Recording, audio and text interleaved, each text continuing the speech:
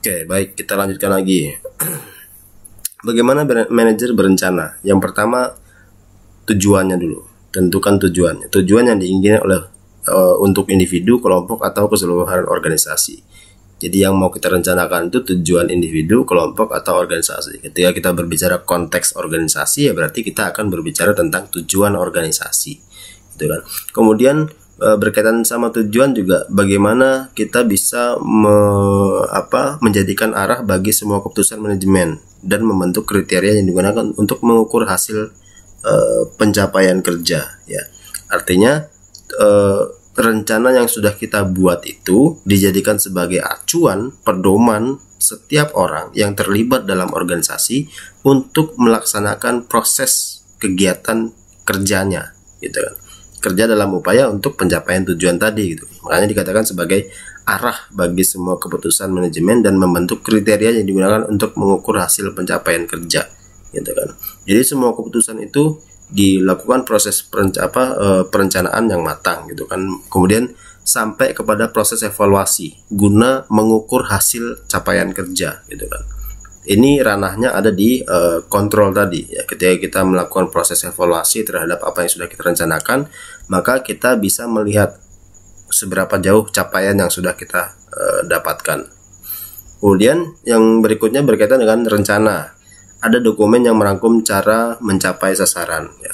Jadi harus terdokumentasi semua gitu kan. Perencanaan tanpa tanpa dokumentasi ya saya pikir uh, juga tidak mencerminkan proses perencanaan yang baik gitu kan. Semuanya harus dijabarkan dalam sebuah konsep dalam sebuah naskah dokumen gitu kan. Dari hal yang sifatnya strategis sampai yang paling teknis ya. Membahas atau e, menceritakan tentang apa-apa saja yang harus kita lakukan dalam proses pencapaiannya. Kemudian menggambarkan alokasi sumber daya ya dan penyusunan jadwal kegiatan dokumennya tadi itu bisa menggambarkan macam hal ya. Yang e, lebih ditekankan sebenarnya sumber dayanya ya. Sumber daya manusianya sumber daya bahan bakunya sumber daya e, keuangan ya manusianya terutama gitu kan. Hingga pada proses penyusunan jadwal kegiatan. Jadi rundownnya itu step by step uh, yang harus kita lakukan sudah tersusun dengan baik dan terdokumentasikan prinsipnya seperti itu jadi rencanain sesuatu dan dokumentasikan ya. sehingga ketika ya manusia pasti memiliki batas kemampuan uh, yang apa saya kira berbeda setiap orang terutama masalah ingatan dan lain sebagainya sehingga dokumentasi ini membantu mereka untuk mereview lagi me, apa mengingat kembali apa sih yang sudah dia rencanakan dengan matang e, beberapa waktu yang lalu gitu kan kemudian uh, yang berikutnya tentang proses pencernaan uh, di dalamnya tuh harus ada uh, hal yang menyatakan tujuan organisasi ya. Tujuan inilah dasar utama proses perencanaan ya. Perencanaan untuk pencapaian tujuan. Kemudian dalam proses perencanaan juga harus memunculkan alternatif cara mencapai tujuan jadi jalannya itu nggak cuma satu, ada beberapa alternatif ya, alternatif yang bisa kita uh, gunakan untuk pencapaian tujuan. Kemudian menyusun asumsi untuk setiap alternatif ya. Tadi sudah kita jelaskan alternatifnya itu ada plan A, plan B, plan C, mungkin sampai plan D misalnya.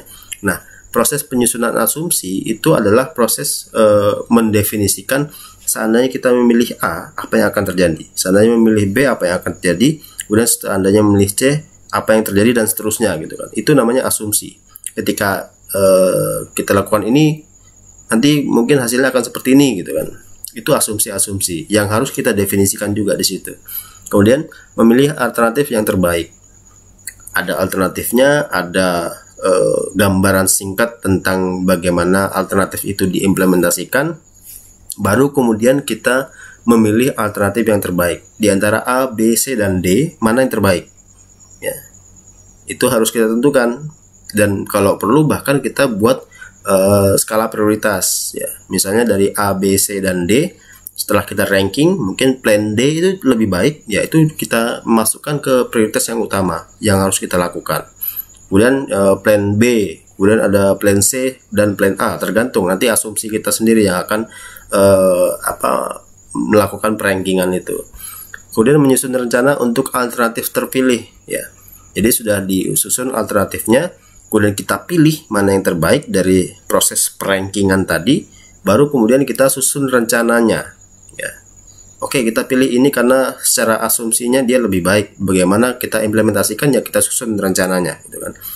Baru kemudian diimplementasikan merubah rencananya menjadi tindakan oke kemudian yang berikutnya jenis jenis tujuan. Pertama berdasarkan jumlah tujuan tunggal dan tujuan yang banyak. Ya tujuan tunggal tujuan yang banyak ya. Kemudian berdasarkan kejelasan tujuan yang dinyatakan dan tujuan yang aktual atau nyata ya. Kemudian berdasarkan keluasan dan waktu capaian tujuan strategis taktis ya dan tujuan operasional. Ini di apa disandingkan dengan apa kemarin eh, ketika kita bahas level manager ada yang top middle sama yang low manager gitu jadi ada tujuan strategis pada level top manager, ada tujuan taktis pada middle manager, dan tujuan operasional pada uh, low manager, gitu ya. Kemudian jenis-jenis rencana berdasarkan kejelasan ada rencana yang spesifik, ya, ada rencana yang direktif, ya.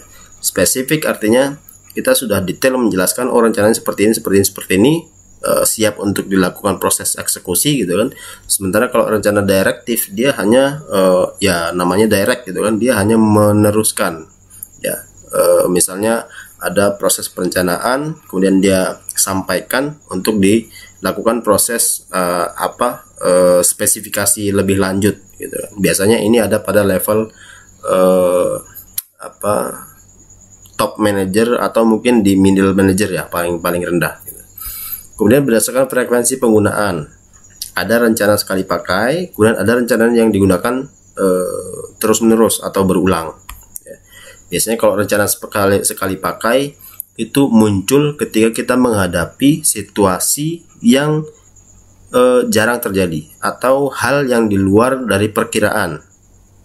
Ya, sementara kalau rencana e, yang digunakan secara terus menerus biasanya adalah uh, proses pencapaian tujuan yang uh, setiap tahun selalu berulang. Misalnya uh, untuk capaian target laba, gitu. target labanya uh, setiap tahun berubah-ubah, cuman pada konteks umum, secara umum ya targetnya laba gitu kan. Bagaimana proses pencapaiannya? Ya kita tinggal uh, ikuti polanya dari tahun ke tahun. Itu namanya perencanaan yang digunakan terus menerus.